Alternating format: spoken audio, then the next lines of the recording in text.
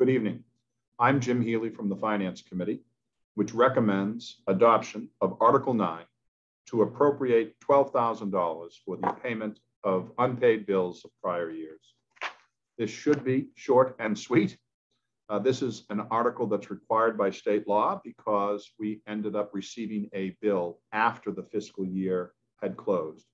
The bill is due, it is outstanding, it is for services that were rendered. And because it's after the fiscal year, we need town meeting approval in order to appropriate the funds.